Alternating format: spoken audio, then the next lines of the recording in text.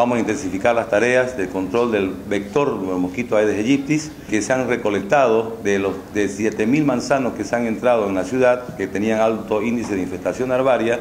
más de 32.000 kilos de recipientes y más de 18.000 llantas que han sido sacadas de domicilio y algunas llanterías han sido trasladadas al vertedero de Normandía. Nosotros vamos a intensificar a partir del día lunes también la fumigación nocturna de las unidades educativas, en lo cual ya tenemos un número de 200 unidades eh, fumigadas de las 460. Y continuamos también con eh, la fumigación de las flotas que llegan de, San Matías, del lado de Brasil, del Paraguay y también del, trópico Cochabambino. Sabemos que el Zika eh,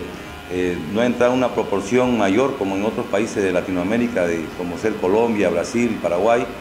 y lo cual eh, la preocupación tiene que ser también del vecino, porque juntos vamos a poder nuevamente decir que este cuarto año que no tenemos óbitos, desde el 2014 que no contamos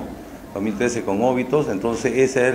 eh, la visión del municipio, la visión de nuestro señor alcalde municipal, que primeramente tenemos que hacer la prevención y trabajar unidos con toda la comunidad y los barrios que tienen mayor índice de infestación arbaria, mayor al 5%, han sido intervenidos en todo el mes de octubre a la fecha. En este momento estamos en el corazón del Bateón, en el distrito 6, para después pasar al distrito 5 y así sucesivamente vamos a ir haciendo. Y el día de mañana tenemos nosotros como municipio eh, dos actividades, dos mingas, una en el distrito 7, barrio 4 de febrero,